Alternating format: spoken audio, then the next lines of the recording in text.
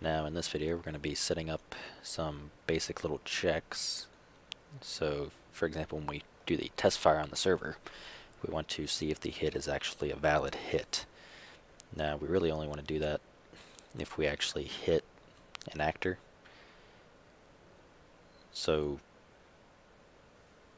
to some extent uh, we don't need to really waste resources doing it for each and every shot, so only if we actually hit something. So what we're gonna do here is actually there's also gonna I'm gonna be pointing out a very critical issue here as well that you'll see in a second and that is the difference between a dedicated server and a player hosted server with certain uh, ticks set for like your bone positions and all that kind of stuff. So pretty much when we shoot on the client right now, let's say we're on a dedicated server, we shoot on the client, that line trace is not starting where the socket actually is on the client. It's going to be starting at a different location. So we can go ahead and, oh, one thing I also want to do, I want to change our fire, uh, change it from server hit result to client, because that is what we are in fact passing in. And then we create our check function. So it's going to be a boolean, so bool is valid shot and take in two hit results. So I'm just going to copy this. One's going to be the client, the other one's going to be the server. We're pretty much going to compare the difference between the two. So now we can create a definition and drag it down here.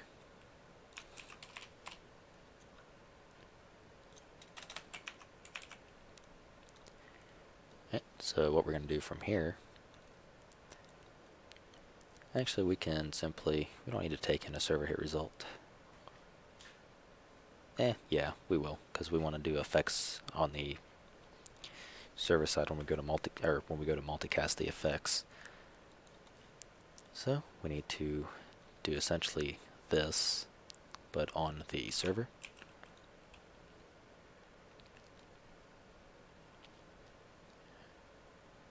So something was in fact hit. I know I, we need at least the start location of the muzzle. I'll go into why here in a second. Alright, so the reason we're separating the start location of the muzzle is for when we go to multicast events. So, for example, if nothing is hit, then we don't need to play any effects like a spark on a metal container if that container is shot, or blood on a player if no player is being shot. We don't, so we don't need to get the rotation or the end location of our socket or our round. Well, actually,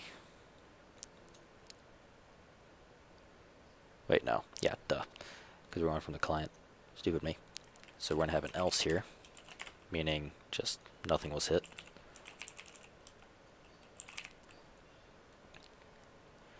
And this is kind of where we're going to set up our effects, basically. So because we know nothing was hit here, we would multicast just the sound and a muzzle flash off of the firearm, as well as like the cycle animation. But if one of these are valid, then such as, let's say the player's hit, we're going to play blood, a little blood effect on top of everything else like the effects on the actual hit location of the hit result. So hopefully you can kind of see where I'm getting at. Okay, so let's get started here. We have our line trace. Call this one server hit result.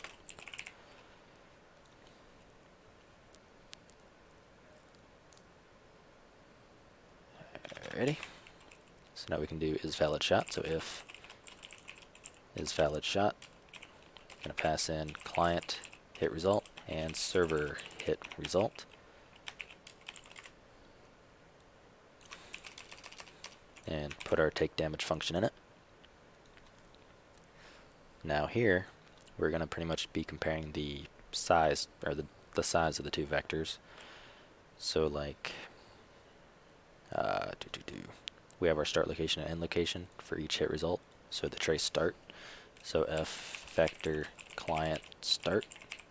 That's going to be equal to client hit result dot trace start. We're going to do the same thing for the end.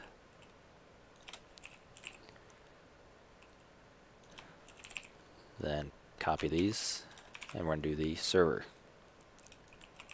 So server start, server end, server hit result, server hit result. And here we can compare the size. So I want to print them out to show you the problem that I mentioned earlier.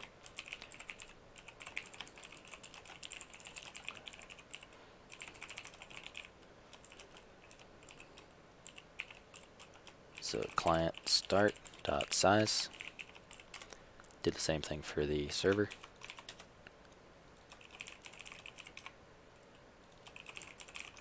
And build. So pretty much when testing on a dedicated, it doesn't really have a reason to, the server doesn't have a reason to know all of the bone movements and stuff like that. So I'll test on the client real quick, or on a dedicated real quick. And we can look at the printed message. So client size 831, server size 766. You can see as I really kind of move around, the only thing that's going to be changing is the X and Y.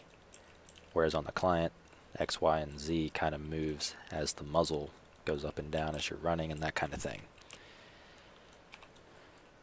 So way to fix this is go to our third person blueprint. If we click on our mesh, go to optimizations,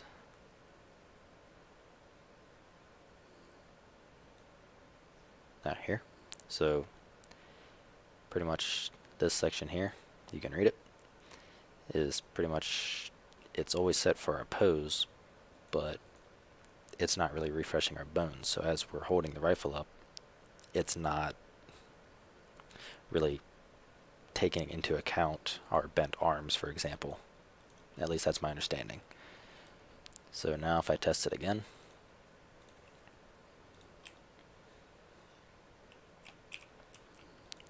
you can see, they are extremely close. To some point where they're pretty much spot on which is what which is pretty much what we want because we want to pretty much test tolerances to make sure the start and end locations are within X tolerance in order for it to be a valid shot. Now if I were to undo the change I just did, I'm going to go ahead and save it. And then test on not a dedicated server and have a client do it, it would be perfectly fine. So now we have this set up, we can test our tolerances. So if uh, we can actually Let's make this a little easier. We're to do a float. Client start dot size.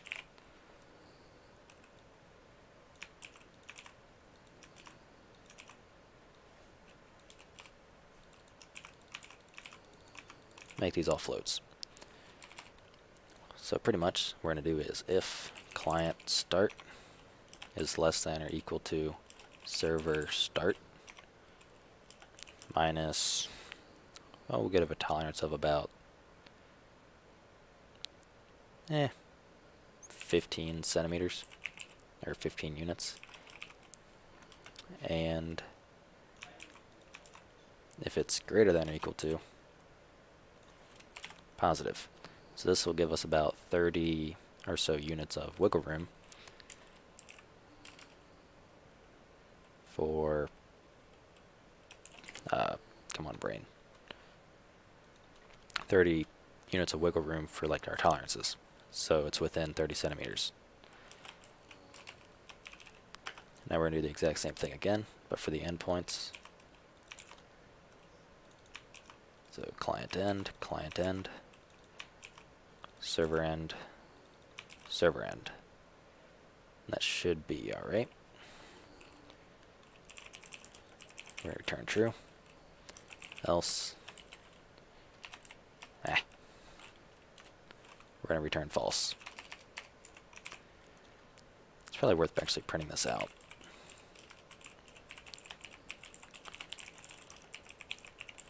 valid hit, and build. I guess we also could have tested by shooting the player, but oh well. Alright. Let's try it out.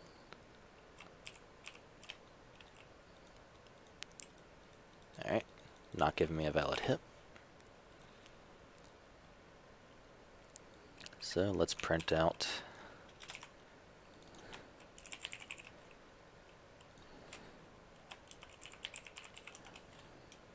the difference for the start. So that's going to be client start. Yeah. Minus server start. Just get a general idea, that'll be fine. And one for the end.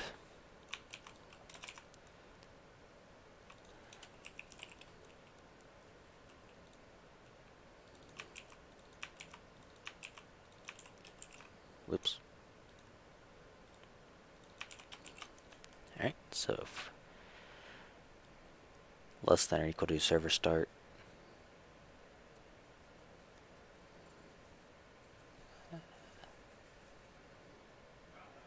I think I just made a stupid. oh, yeah. Yeah, I just made a stupid. Alright, so we're testing pretty much I feel like an idiot. Alright, so if we are less than server start minus 15 so clients hmm.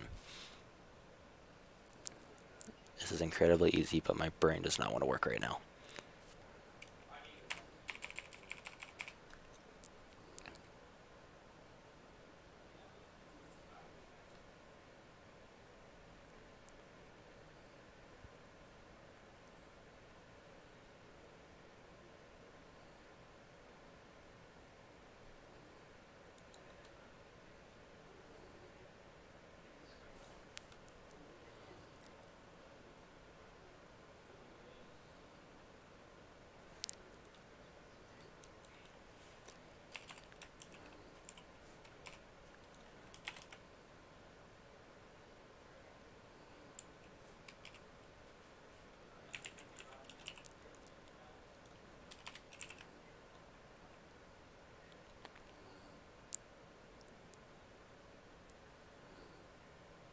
Alright, I feel like a complete idiot.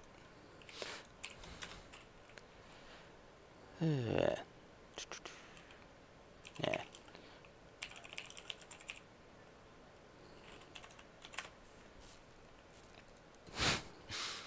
I don't know, this is like the most basic. Yeah, if it's greater than or equal to 1 or less than or equal to 100. So it's within 1 to 100.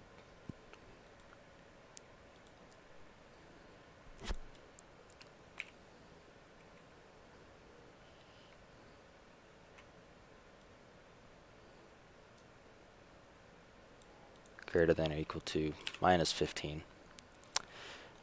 less than or equal to server start, plus 15.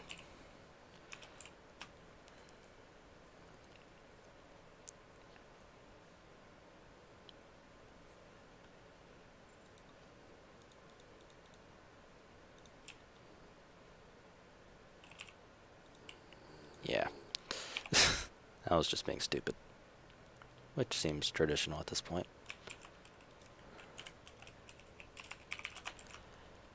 Alright, change it out to the endpoints.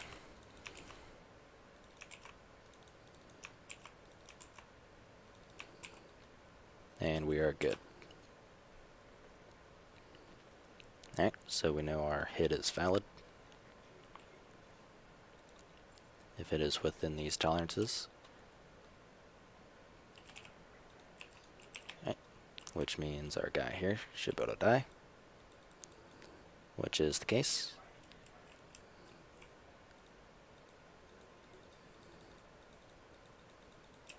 I think I'm out of range. Yeah. So, the other thing we're going to end up doing, uh, probably not going to be continuing with just a basic line trace. I don't want to do an actual projectile.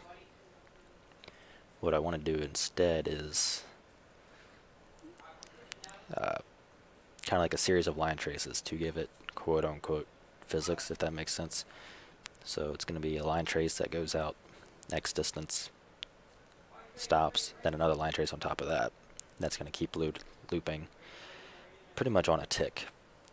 So when the player shoots, it's going to actually be affected by, well, quote unquote, affected by gravity. But that'll be done in a later video. So for now, we're just sticking with basic line trace. I'm going to increase the range to 3500 for the weapons and remove our commented out portion on both the server and the client attack functions.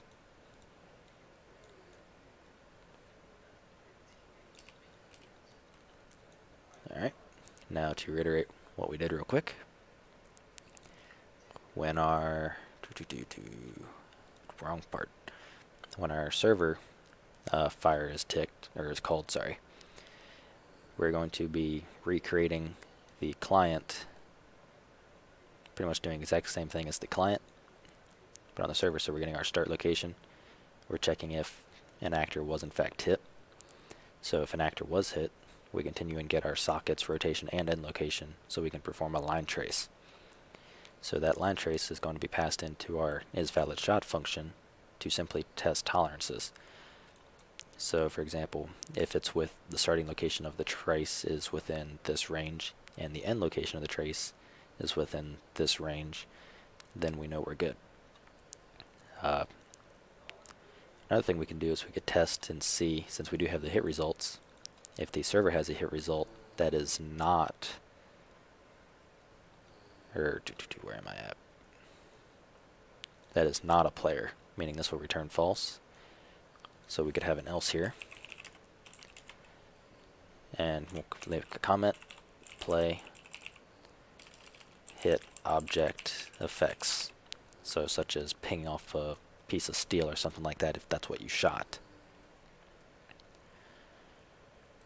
So we can actually implement that as well. So make sure they are within tolerance. And here we do if server, or we need to do get actor. Yeah, the server hit result should have an actor, I think. We already tested. Alright, no, we're not testing that, actually. So if a actor server hit actor equals server hit result dot get actor. And if that's the case, we want to cast it. So if a survival character player equals the cast, so a survival character from server hit actor, meaning it is in fact the player. We want this to be false, so simply add an exclamation point, or sorry, uh, what does a false cast return? Let's check that real quick.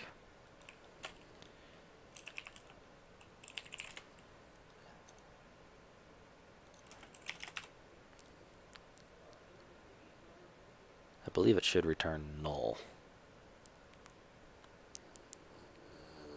Eh, maybe. Yeah, oh well.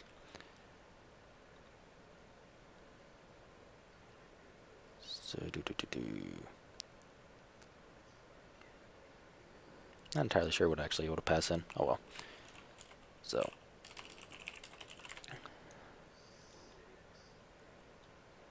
What we can test here. So meaning it did hit a player.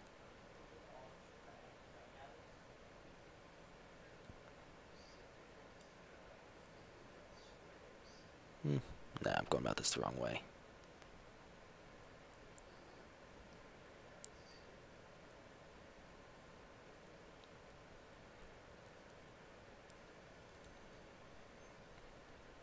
Come brain.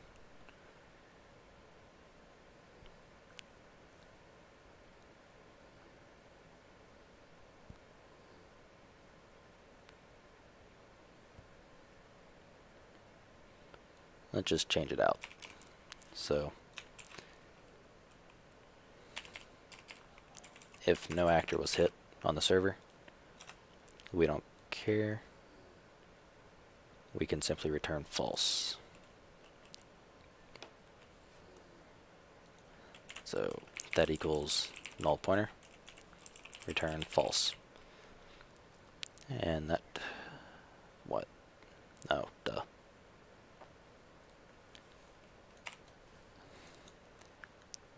Alright, so pretty much in our valid shot check, we're going to check and see if the server hit an actor. Which we can actually do above everything else, because if that's the case, we just don't care. We don't want anything else to run. So we're going to check if the server did not hit an actor. We're simply going to return a null pointer. I mean, uh, we're going to return false because, well, server didn't detect a hit, so we're not going to care. If it's not the case and the server did hit something, we're going to simply get the size of both the starting ending points of the hit results, or the line trace of both the client and the servers, and we're going to test their tolerances to see if they're within a range of plus or minus 15. So just about a tolerance of about 30, yeah, 30 centimeters, because units in Unreal Engine are centimeters, in which case we return true. Otherwise, we return false. We don't need our valid hit log. Then if that is the case, we're going to test and see if the actor that was hit, which we should be going off of the server hit result. Wait, hit actor. Actually, it wouldn't really matter. So we're going to be going off of the actor that we got from our client's hit result and continuing by then applying just a damage of 20 to it for now. Eventually we'll expand on this one to different parts of the body, do a different amount of damage. So, then the next video we'll probably be doing basic, just the animation of the bolt cycling as well as the effects for other clients to see, such as a muzzle flash and audio. I don't think there's really anything in there for showing like a hit. Huh. I guess we could toggle on the sparks for like a split second, or I might just end up making something. But for the muzzle, we're going to be using P explosion, and for the audio, you can't hear it because I have it muted, but just going to be one of these two. Unless I find another recording online. So, I will see you then.